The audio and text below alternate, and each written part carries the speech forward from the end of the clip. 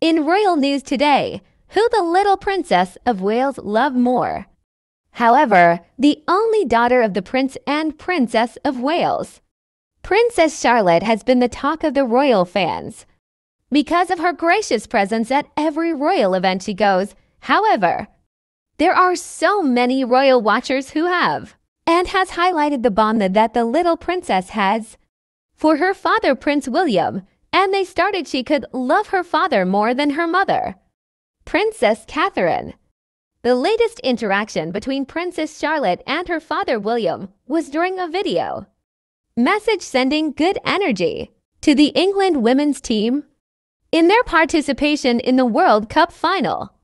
That interaction evidenced the good relationship between the father and daughter and how well they interacted during public appearances. This particular fact has made the British media outlets put their gaze on Prince William and his daughter Princess Charlotte, who have stated they have left Princess Catherine aside of their cute relationship.